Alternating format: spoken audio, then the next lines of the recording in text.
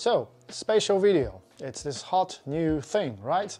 Maybe it been some other people making mind-blowing clips, or maybe yourself want to create some immersive memories in 3D. Have you been wondering if you just need to rush out and buy the latest iPhone to do it, or there are any options? Well, in this video today, I'm dive into right that for you because I've been playing with a couple of those devices in the different scenario in the past weeks and I'm going to break it all down for you. So let's get started.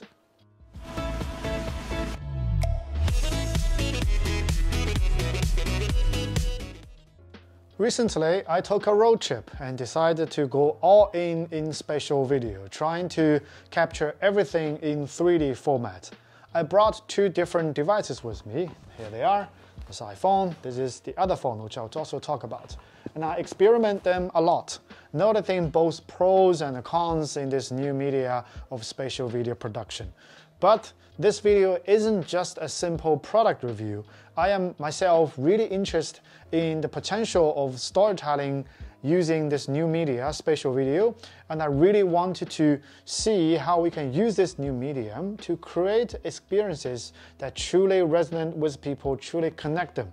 So I'm going to share my experiences with you in this video, help you decide which device is right for you and what results you can expect, how you can get started with your own spatial journey with uh, maybe just a hands-on device with yourself. So let's start it by talking about cameras we are looking at today. This is the iPhone 16 Pro. This is the Xreal Beam Pro. As you can see, well now both of these devices use a dual lens setup for getting the 3D effect capturing the spatial video, just like our human eyes. But there is where the things start to differ for them. They use different types of lenses. If we look at the iPhone 16 Pro, it's using the two lenses on the top, the main camera on one side and ultra wide camera on the other side to capture two stream of videos for spatial video. On the Beam Pro, well, it's very obvious. You can see there are two lenses and they use that for the 3D stereo effect but the distance between the lenses is quite different. If you look at the iPhone 16 Pro, the lenses are quite close to each other and the data shows they are about 19 millimeters separate away. And on the Beam Pro, it's much bigger. Well, it's obvious, right? Comparing this to this. The Beam Pro, the two lenses is about 15 meters away, which you can see is quite similar to how our human eyes are separated. But as a reference, the Vision Pro also captures spatial video. I don't have a Vision Pro, so I just use this as a reference. They use the two main lenses in the front, well, to, you can't see my eye, to capture the spatial video a put on, and you can see they're quite close to where my human eye is, so it's also the way it's doing its spatial video job. Now, this is what we can see on outside, the difference of their lens, their hardware setup. All those differences leads to difference in the results and output files. We know that the iPhone uses special MVHEVC format, while the Beam Pro goes with the FSBS or full side-by-side -side format. I will talk about the format in detail about later, but you know that this is related to their hardware setup. Well, now I want to jump a little bit forward and talk about the difference I discovered when using them in the past trip. So how do I find them in real life?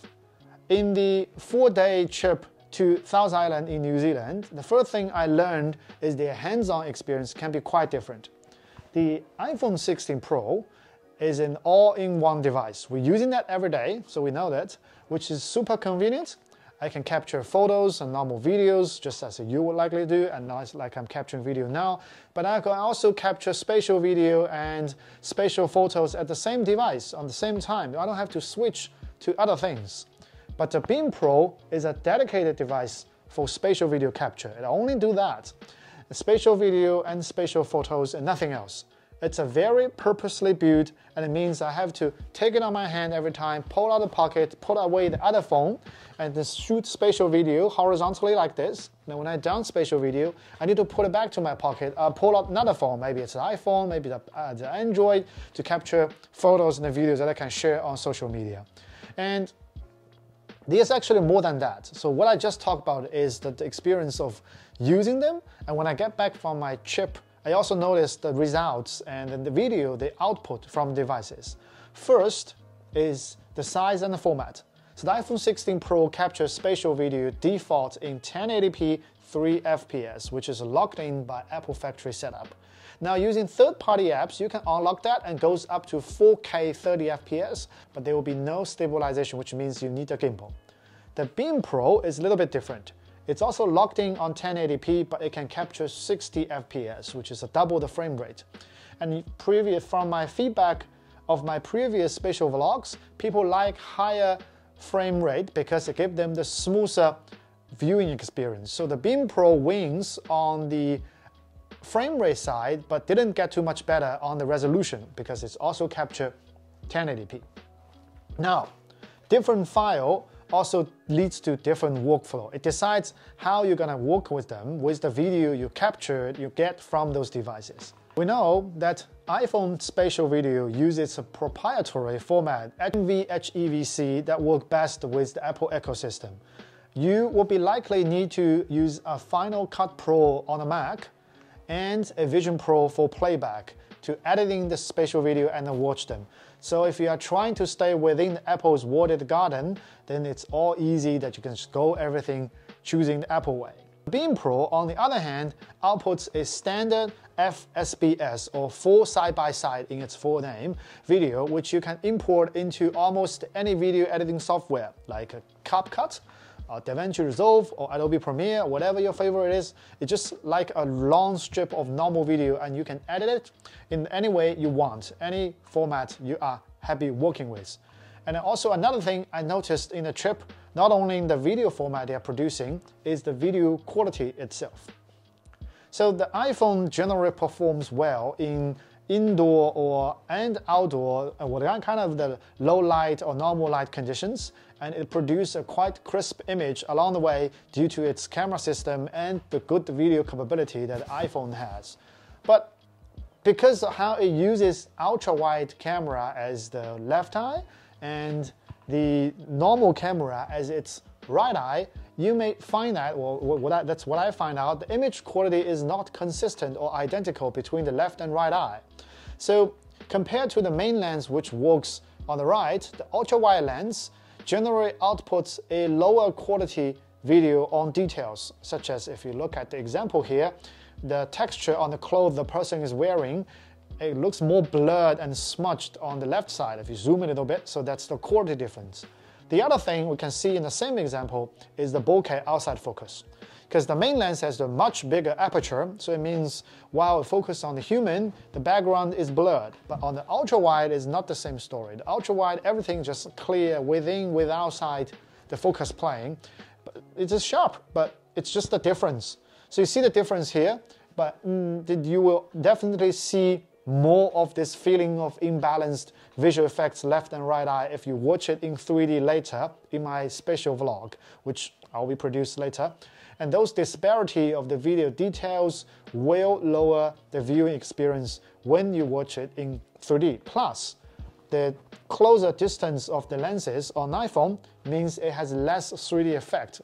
You feel like it's less 3D, and so you feel less immersive. So those things you will also need to find out or have a try yourself when you're watching the spatial video that I'm going to make. But the Beam Pro, the image quality on both eye are consistent because the two lenses are identical. They are both 15 megapixel lenses.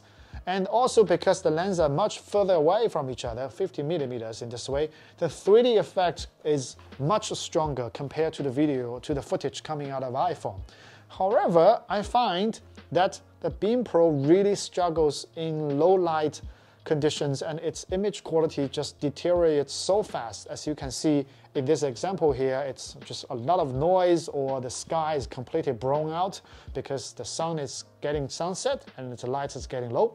So its image processing quality is not as good as iPhone because of a chip or software design. You will see more of those differences, or I would say trade-offs, when you're looking into the footage yourself uh, when I upload my spatial vlog. Well, that's what I'm currently working on, so stay tuned for that. And also another reason for you to subscribe to my channel and turn on notification. But we haven't done it in today's video yet, just stay on. So we have been talking about the differences and several different aspects about those two devices. But which one should you get?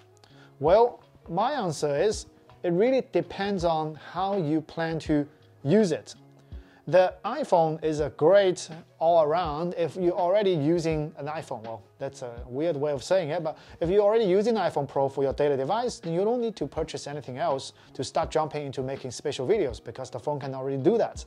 Photos, regular videos, special content, all in one device. And It is also a good option if you are looking to, like, say, just randomly or sometime capture family events, capture some small, uh, some important scenarios, not a heavy user of spatial video, and then you will still want to try and stay within Apple ecosystem, then maybe just get an iPhone, because it could be one plus the reason for you to upgrade. But if you are someone that who wants to, like me, dedicate a device just for spatial video content, trying to make some more serious, professional level spatial videos, then the Beam Pro can be a better option and also because of the format for SBS uh, video output, it's more compatible with uh, all kinds of video editing software. It's easier to process and transfer around, so making the workflow much more adaptable to different tools that you're using. But when choosing this way, you might want to have more creative control and to make sure the lighting conditions, the environment that you're going to be working into, because those will be on your hands to control. Also, I shout out to Xreal. If you are watching this, please unlock the 4K resolution in spatial videos on your Beam Pro devices. If you do so, this will become the go-to spatial content machine for many, many creators and really unlock a lot of new potentials. And thank you if you are listening to this. All right, back to our discussion. Beside of those hardware resolution workflow things we've been talking about mentioned, I think your current technical ecosystem and other devices you're working with is also a factor you have to consider into it. So say you already own an iPhone that's compatible, you might want to stick with it and go with the Mac Final Pro path for the workflow entire processing thing. Final Cut Pro has the ability to do that now to process their own spatial video, which I will uh, come up with a tutorial for that. And if you are in the plan of getting a Vision Pro, then of course you are going for the Apple path. But however, say you are an Android user, or if you are on budget but still looking for a device that can view and produce those spatial content, or you want to your spatial content to be more widely available in different platforms, easy to process, the Beam Pro can be a relative affordable way to go into that. But iPhone can of course do the same thing, but it will require another extra step of processing and converting your content before dive into editor. But, but I will leave that for a different tutorial, not today. And ultimately, I would say both devices can capture decent spatial videos, each with their own advantage, their own disadvantage on different scenarios. It really comes down to how you plan to shoot spatial video, what kind of stories you want to tell, and how comfortable you are with the entire workflow, entire post-processing steps, the procedures, tools you're familiar with. But whatever you say, I'm just an absolute beginner. I have no idea about anything. Then my suggestion will be try before you buy. If you can, you can borrow an old iPhone, follow my previous tutorials, and try spatial video production on them. See how you think of it. Or you can borrow one of the devices we mentioned today from your friends, from your family, and give the spatial video a try. See how you feel about the process the result, and you'll be much better equipped to decide which way you are going to step into. It's all about being creative, isn't it? So it's a creative choice. All right, I think that's all for today. I hope you learned something new. If you find this video useful, then please hit the like button, share it around, and subscribe for more content coming up. I will see you in next one. Thank you.